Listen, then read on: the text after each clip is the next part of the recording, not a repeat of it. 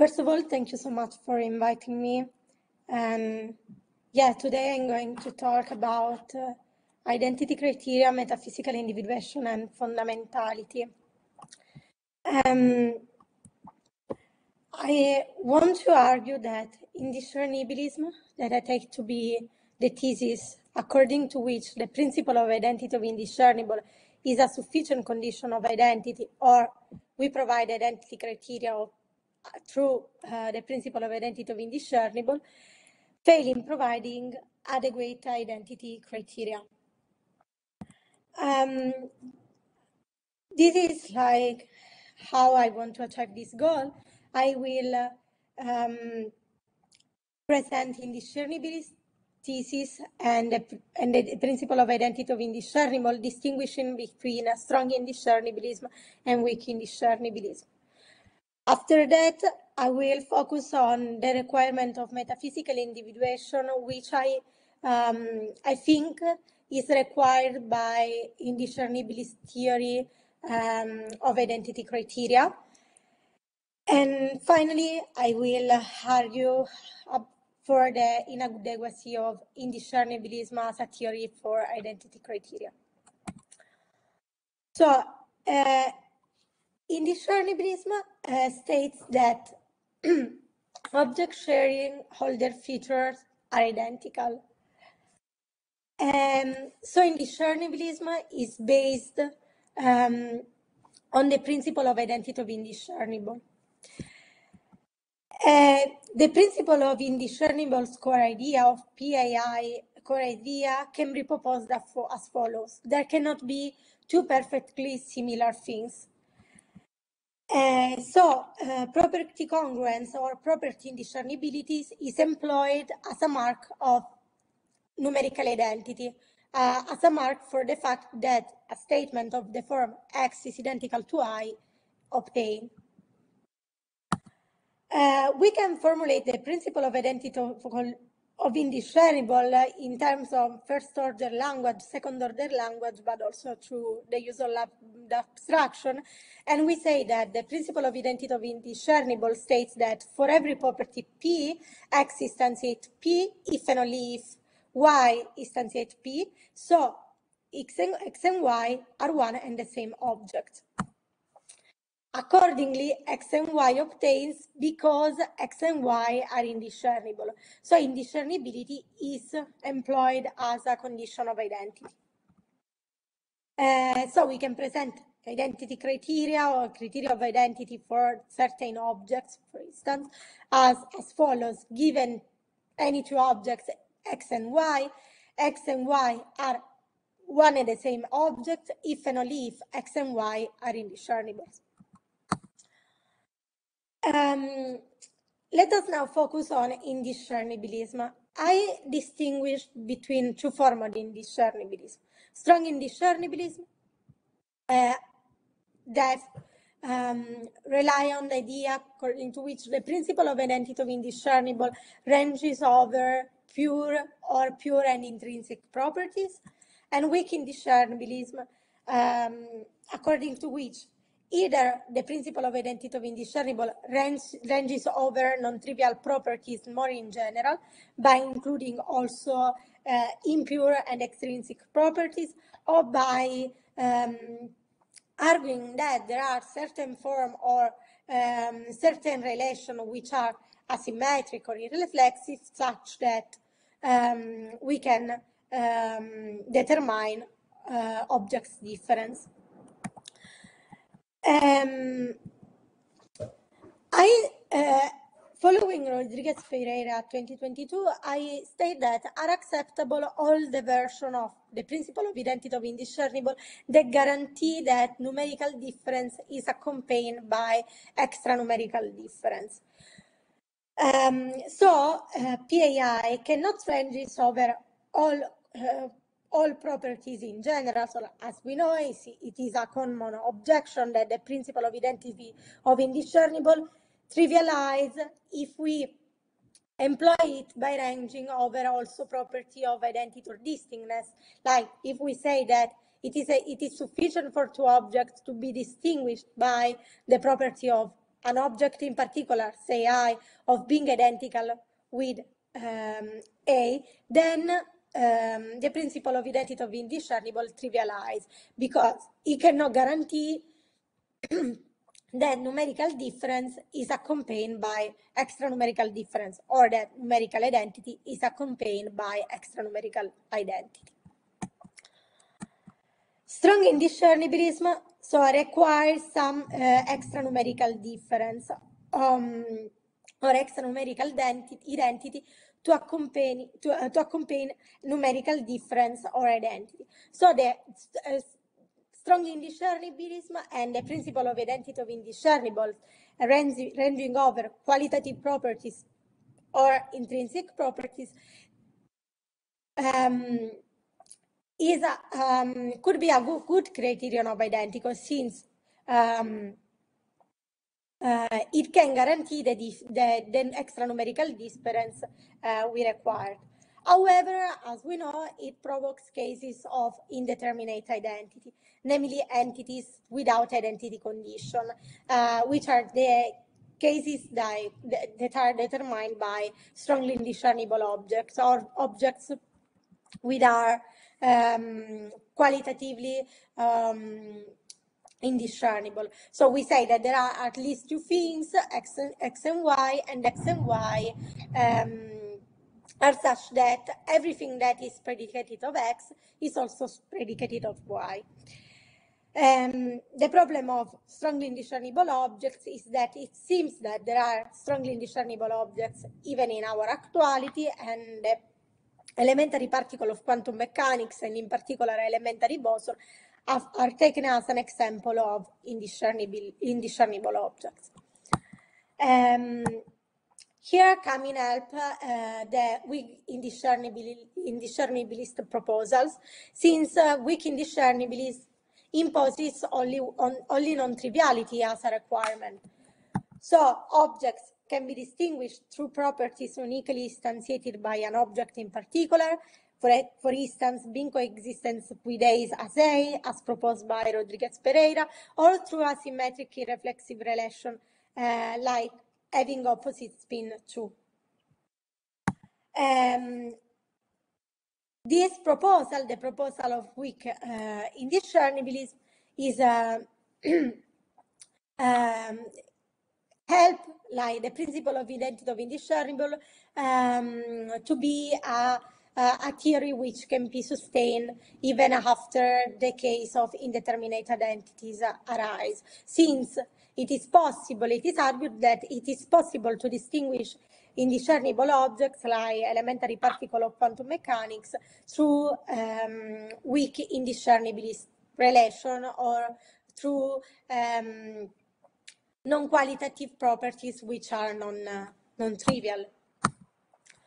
Uh, however, I want to argue that uh, even by implementing the principle of identity of indiscernible uh, through weak indiscernibilist proposal, we cannot uh, provide another weight theory of identity criteria. Um, when considering identity criteria from an ontological standpoint, they address the question if x and y are keys what constitutes the identity of objects X and Y? And um, providing an answer to this question on the one hand, um, tell us what makes uh, a statement of the form X is identical to Y to obtain, but it also uh, um, should, but it also should provide the principle of individuation of objects. So it should say ontological identity criteria state for any individual X in virtue of what X is the very individual it is, namely X. Now, it is not, uh, it could be objected that the principle of individuation should be treated as a problem separated by, from the problem of identity, of attributing identity criteria to objects. But um, all indiscernibilist view and the view that enroll the principle of identity of indiscernible as a mark of identity um, plausibly wants the principle of individuation to be um, to rely on the identity criteria of objects um, so indiscernibilism finds support from the view that identity criteria answer the individuation question. Supposing the identity of individual is determined by looking at the properties demonstrated by them, then it is plausible that what makes any given object X the object that ob the object it is determine the identity condition of objects. so identity criteria um, we assume answer the individuation question. The individuation question can be proposed as follows. What makes the case that any given object, say X, is the very object it is?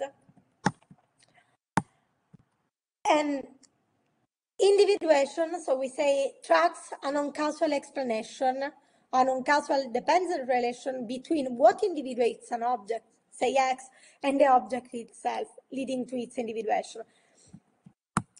And uh, I assume here that individuation refers to the fact that given an object, say X, X is the very object it is.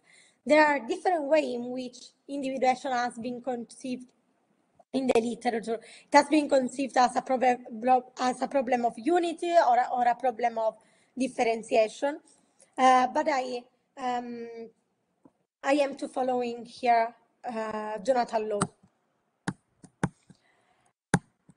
Um, the explanation in play when we want to answer the individuation question is uh, a form of metaphysical explanation, uh, taking the following form. There is a fact uh, or a plurality of facts, say phi, which explains that X is the object it is.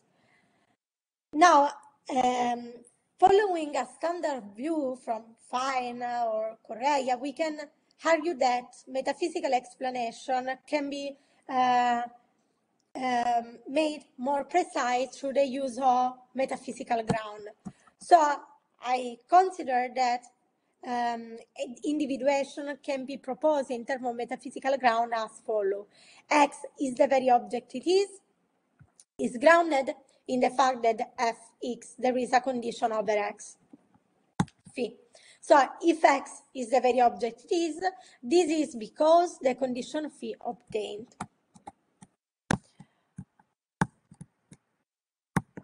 Now, um, indiscernibilism established the principle of identity of indiscernible as identity uh, criterion.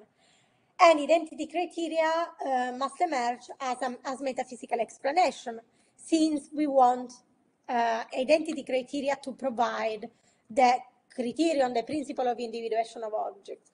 So, so they should be formula formulated in terms of metaphysical ground. So at least the principle of identity of indiscernible must be um, expressible in terms of metaphysical ground. But here is the issue I want to um, I want to consider. Uh, let's take the uh, grounding statement of the identity uh, of indiscernible.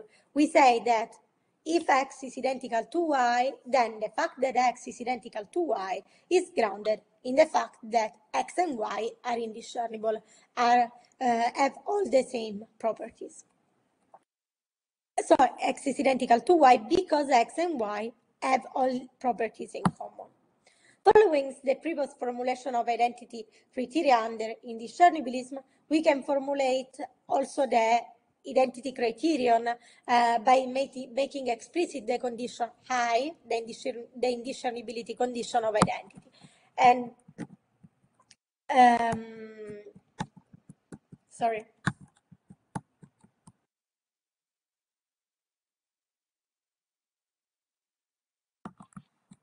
No.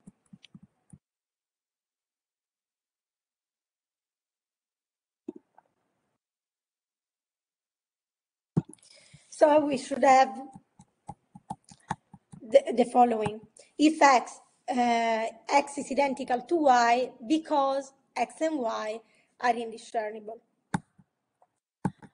Now, uh, the issue is the, is the following, and it comes from the, um, the principle, the relations that grounding should respect. Um, the grounding from um, grounding uh, PAI must be irreflexive, asymmetric, and transitive, following the standard um, the standard grounding uh, grounding theory. So, but I contend that it cannot be uh, strictly upheld because the principle of identity of indiscernible when um, violates asymmetry. Uh, however, metaphysical explanation are required to be asymmetric and cyclical explanation are prohibited. So cyclical grounds are not permitted. So once we uh, define um, the phenomenon the phenomenon of individuation as a phenomenon of metaphysical uh, explanation of a relation of asymmetric dependence between what individuates an object and what is what en- of, and the entity which tends to be individuated, then the relation must be um, asymmetric. But why I think that this is not the, the principle of identity of indiscernible is not asymmetric? Um, the identity of indiscernible is the converse, taken to be the converse of the indiscernibility of identicals. So we say PI. And PI can be correctly formulated in grounding terms, saying that identity facts ground property indiscernibility. The explanatory version of PI um, or GPI can be formulated as follow, following Schumacher 2022. If X and Y share all properties are indiscernible, this is so because they are identical. Grounding construction imposes that only one between um, GPAI and GPI can be formulated in terms of ground. Um, GPAI maintains that fact of the form um, for all P, Px, if and only if Py to ground facts of the form x is identical to y, and GPI takes statement of the form for all P, Px, if and only if Py to be grounded in facts of the form x is identical to y. So we cannot accept explanatory grounding version of both principles unless we violate the asymmetry of grounding. However, um, there are, are arguments uh, in favor of the idea that only one between um, GPAI on GPI uh, should be can be formulated in terms of ground have been formulated. So um, unless new arguments come in the literature, I assume that the principle of identity of indiscernible should be taken to be um, uh, symmetric, since the converse formula is the indiscernibility of identicals. So indiscernibility fails to provide adequate identity criteria because identity criteria must provide the principle of individuation and under a certain understanding, identity criteria must be expressed in terms of metaphysical ground. However, uh, it is common to, to argue also that grounding identity criteria are not viable. Uh, however, I, I think that the problem of indiscernibilism does not rely only in, in its grounding formulation, but there are issues uh, that arise even if uh, we want to uh, formulate identity criteria uh, without the tool of metaphysical ground. Indeed, the main intuition of weak discernibility with is the only possible um, version of indiscernibilism we can uh, defend is that discerning objects is sufficient to provide adequate identity criteria. An example of non-trivial discerning properties or relation have been provided. Given an object A, there are two possibilities, two possible examples. Having a having a opposite spin to A as a relation of weak discernibility or being coexistent with A as A properties uh, which is non-trivial but able to differentiate among all objects. However, however uh, both these examples create issue when we want to provide adequate identity criteria. Taking having opposite spin 2 is irreflexive, so A must entertain this relation with something different from it, say B. So having opposite spin 2 is able to distinguish um, uh, objects, even if um, um, those which are uh, strongly indiscernible. However, a reflexive and symmetric relation, while able to discern, to discern objects, cannot identify an object in particular. So they can only work as principle of, in, of differentiation, as it is also argued by Dix 2014.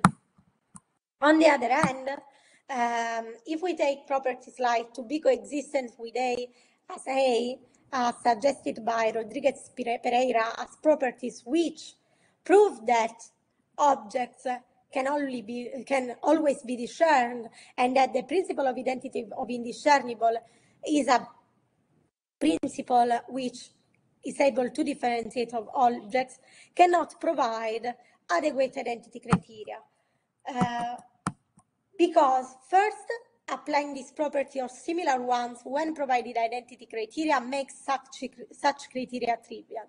Such properties presuppose the existence of or identity of A, and being coexistent with A as A is a property that can only be instantiated by A. It's a sort of properties which rely uh, on the individual essence of objects. However, following the uh, formal um, requirement of identity criteria, it, it is a, um, it is not favorable a theory of identity criteria which is um, which which decide as a mark of identity a property that can only be instantiated by only one individual.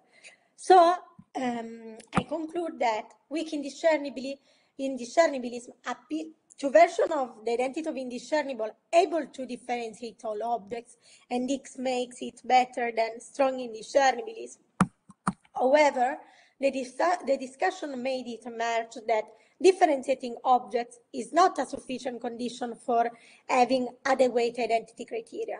On the one hand, we have seen that if we look at the metaphysical um, requirement of ontological identity, ontological identity criteria, then it seems that they should answer the individuation question, but the identity of indiscernible cannot answer, cannot provide an answer to this question. question. And on the other hand, even if um, we want just to provide answer to um, the identity question, telling uh, what makes X is identical to Y to be a true statement, then the, the weak indiscernibility proposal fail uh, because of the property or relation that um, they have to select to provide such criteria. So I conclude and thank you. Okay, thank you so much, Carla. Are there any questions?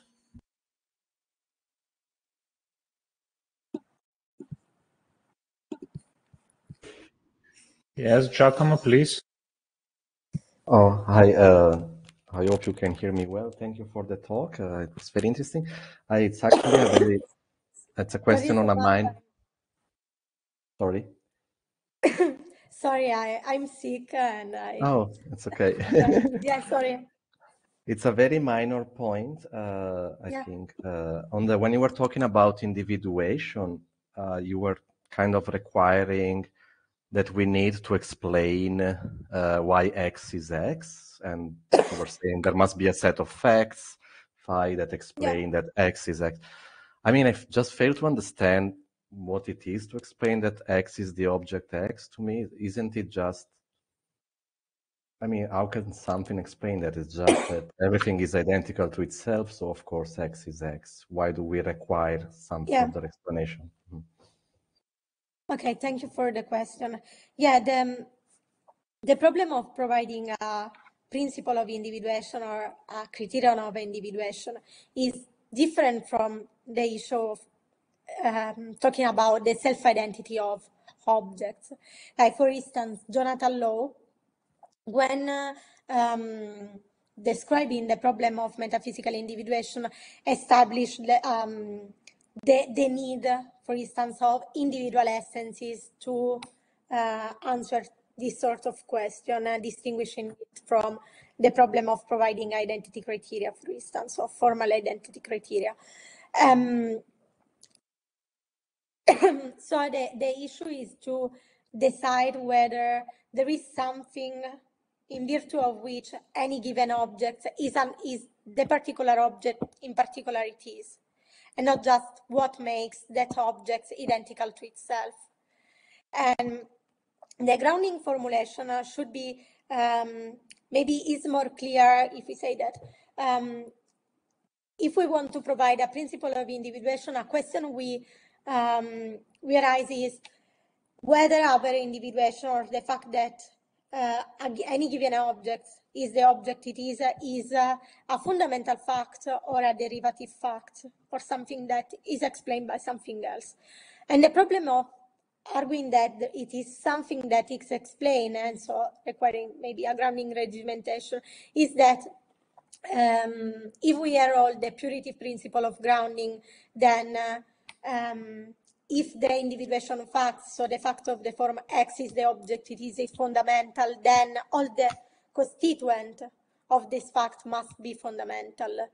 Um, so since we maybe are inclined to say that not, all objects, like not all individuals, like uh, human being or composite objects are fundamental, then it should be um, it could be reasonable to talk about the principle of individuation of objects.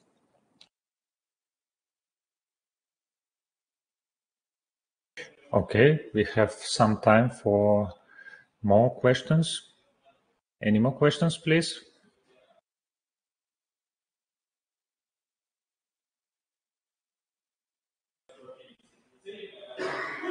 So I guess there are no questions, right? So thank you so much, Carla. thank and you.